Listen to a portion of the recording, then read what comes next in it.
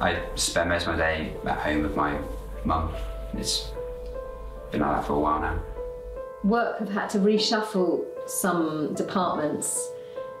I've had my hours cut recently. I miss, yeah, having friends around for a cup of coffee. That was always fun. Friends I used to have have just become a bit distant.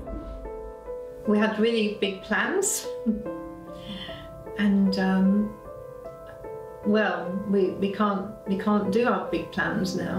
Um, I sometimes forget what things were like, you know, before all of this. we're just not used to being at home as much as we are. Um, You know, I'm trying to work and trying to look after her, and um, I'm just I'm just hoping that you know it's going to get a bit easier maybe.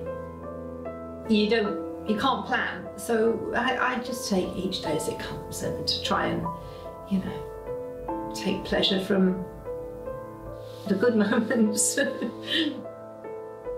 I lost my job. I lost my identity. Sometimes you feel like you're worth nothing.